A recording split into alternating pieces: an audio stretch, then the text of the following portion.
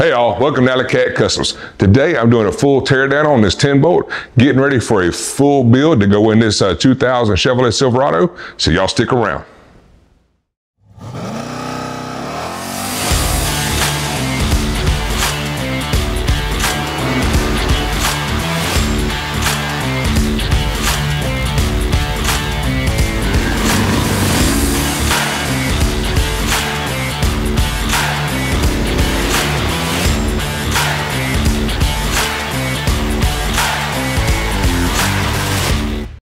All right, y'all, so I'm in the middle of a full build on this 2000 Chevrolet Silverado, and one of the key components is doing a full build on this rear axle.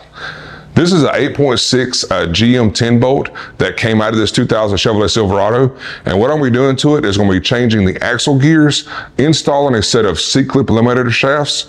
I'm going to be narrowing the axle and also replacing all the bracketry uh, to go with the suspension upgrades on the truck.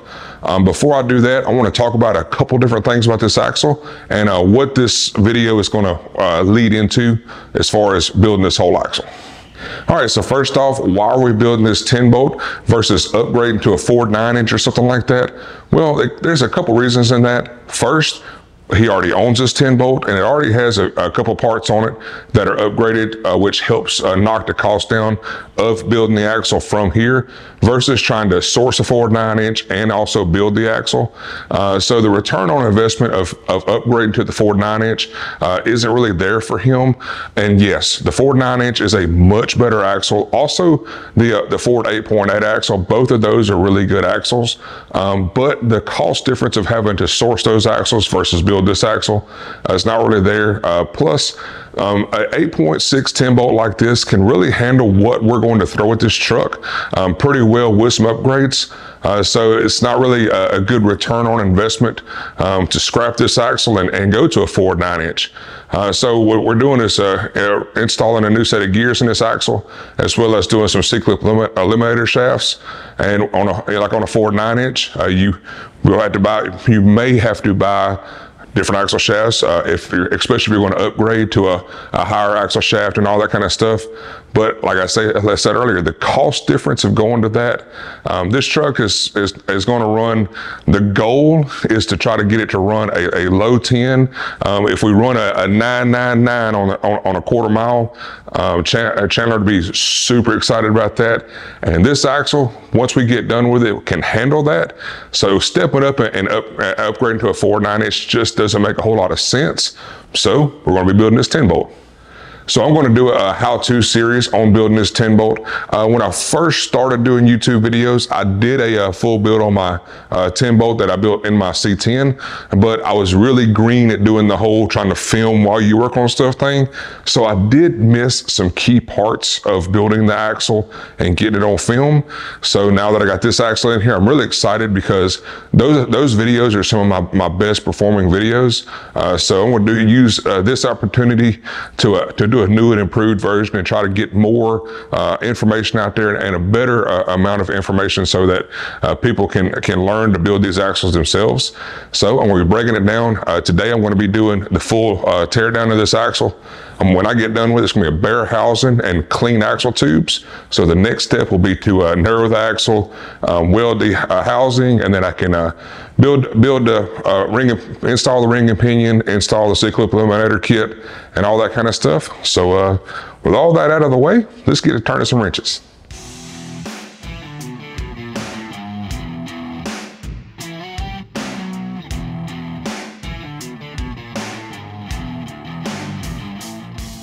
So one of the upgrades that Chandler did to this axle was to upgrade the braking system um, to a set of uh, calipers and rotors for an 03 uh, Chevy Tahoe. It's a nice upgrade over the factory uh, braking system on this truck. And he topped that off with some uh, EBC uh, drilled and slotted rotors and some uh, EBC brake pads. As you can see, I removed the calipers and the brackets in one in one setting. And I also did, did not break the brake lines loose. My theory was that I was going to just, just remove it all as a unit.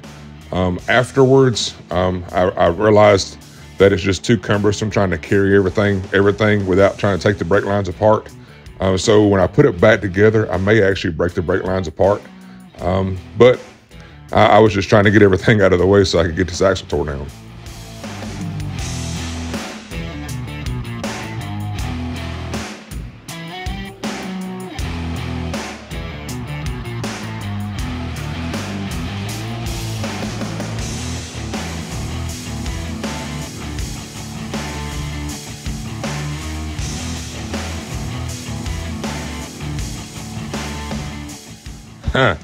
Yum.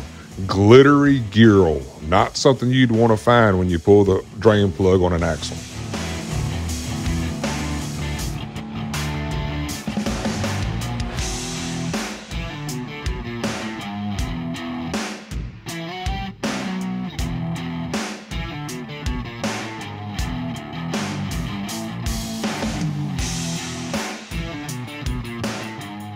All right, so about two years ago, Chandler installed the gears and this TrueTrac differential.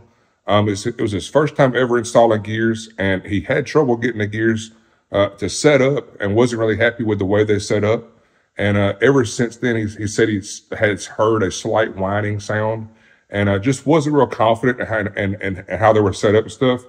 Well, I checked it when I pulled the, the uh, fill plug out. There's a lot of metal shavings in the in the uh, fluid when it come out. And I just checked the backlash and it's right at 10,000th backlash, which is, it's, it's more than what I would like to, like it to have on, on the gears. Uh, so I know that the, know that these, these gears, uh, I could see the contact pattern, um, etched into the, uh, the gear face on them and they're not, they're not in good shape. So that's part, part of what we're going to do was going to replace these gears with, with some fresh gears and get a good setup on them. And, uh, since I'm doing doing this for Chandler and he's going to, uh, he's going to work really hard trying to trying to uh, learn what I know about doing gears. I'm not the best at doing gears, but I've done it before and I have have some experience and stuff. And I love love being able to show people. That's why I'm trying to show y'all what, what I'm doing. So I'm about to bust this uh, um, TrueTrac apart to get these C clips removed. I'm gonna snatch the axle shafts out of here, pull the carrier out, and uh, keep this tear down going. Alrighty, so first step is to remove the snap ring and the outside cover from the TrueTrac so you can get down into where the C-clips are.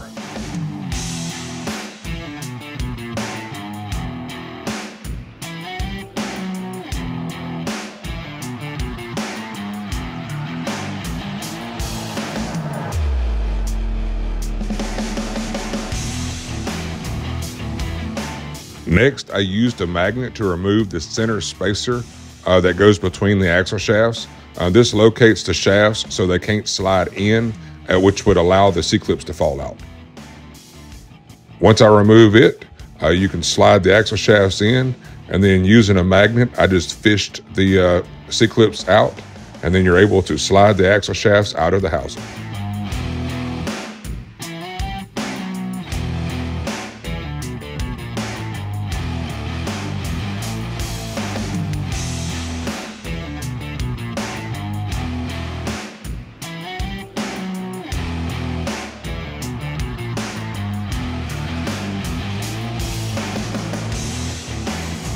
Next up is to remove the differential carrier caps.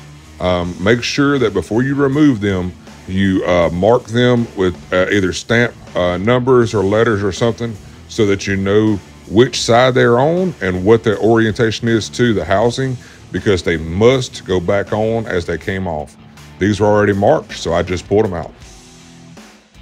When you remove the carrier from the housing, be careful because there is uh, shims and outer bearing races on either side of the carrier. Um, so make sure you catch those and uh, keep the shims on the side that they came, af- came off of because that can be a reference for when the axle goes back together.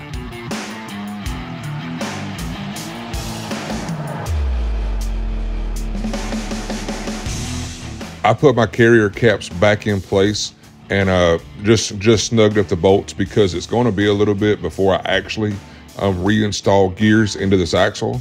I have some other work to do to it, uh, and I didn't want anything to happen to the carrier caps. So the safest place for them to be is bolted into the housing.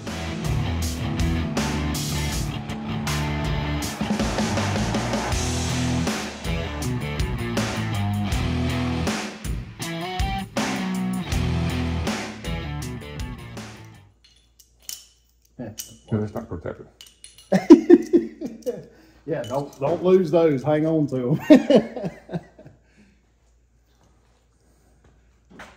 they look okay though. Yeah, look, they look fine. So.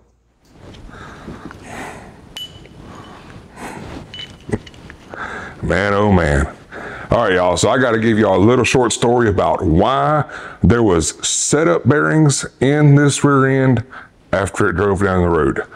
Um, while we were tearing it apart, when I pulled the pinion out and grabbed the uh, the, pinion bearing to see what see how it looked, and it slid off in my hands. Um, Chandler afterwards, after I checked it all, all, out, and I told him I was like, uh, "That's not supposed to be a setup bearing on there. That's supposed to be the press-on bearing." Chandler goes, uh, "Well, you see what had happened was." Um, he actually installed this gear at the Mercedes dealership where he works at after hours on a Saturday. And after going through and having so much trouble setting this rear end up, trying to trying to figure out because it's his first rear end to build, and uh, he, you know, taking apart, put it back together, taking apart, put it back together.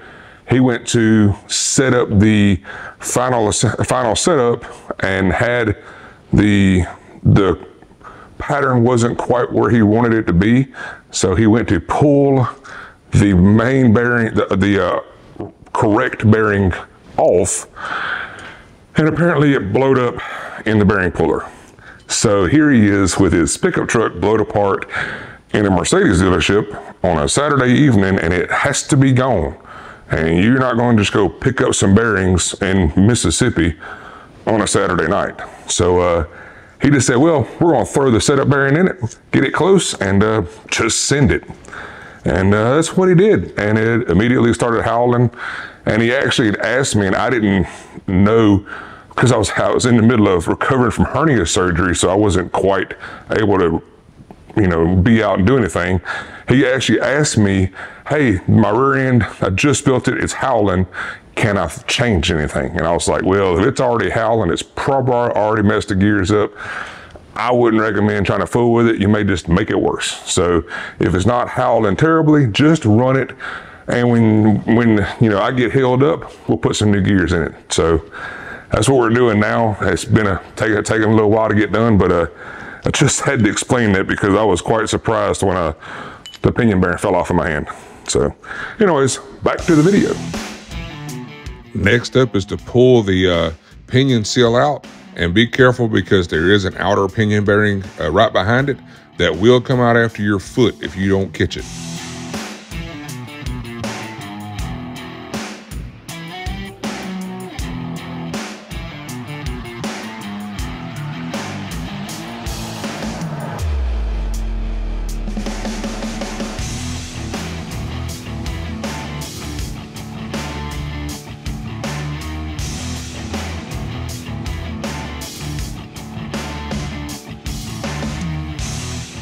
Now we finally have a bare uh, 8.6 10 bolt housing sitting here on the stands and a table slam full of parts that I have to uh, find a place to put them so I can have my table back.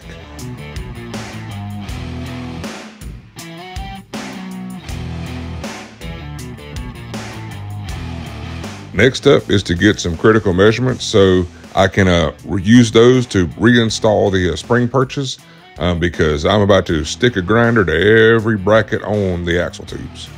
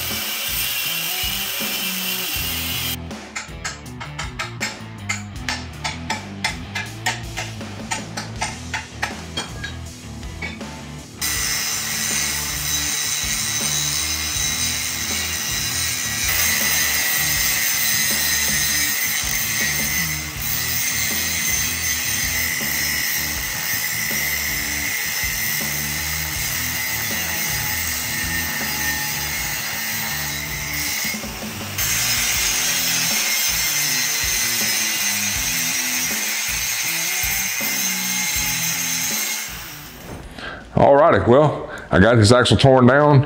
Uh, I wanted to make sure, wanted to get it torn down this weekend uh, so we could check to see if the axle gears were actually reusable. They're not, so the gears uh, will be uh, ordered Monday. Uh, he has already ordered the axle shafts, the, the shorter axle shafts with the C-clip eliminators. So uh, those are on the way. The gears will be on the way shortly. Um, so I got more cleaning up on this axle to do, but I'm to clean it up, spot clean it as I go along. Um, so when the parts get in, the gears and the axle shafts, then I can finish up the uh, build of this axle. Um, next, I'm going to tackle next project on the axle I'm going to tackle is actually narrowing the axle tubes, and then I want to weld the uh, the tubes to the housing. And once I get all that kind of work done, uh, then I'll install and set up the ring and pinion, and uh, we'll get this axle slung under the truck and uh, start uh, lining up all the brackets for the uh, loose spring perches, the axle, the, uh, the the loose spring perches, the sway bar mounts, the shock mounts, get all that stuff uh, lined up and uh, in its final position welded in and have this axle done. So hope y'all enjoyed this video. And if you did, make sure you hit like, subscribe, and keep on coming back here so you can see the rest of this axle build right here at AllieCat Customs.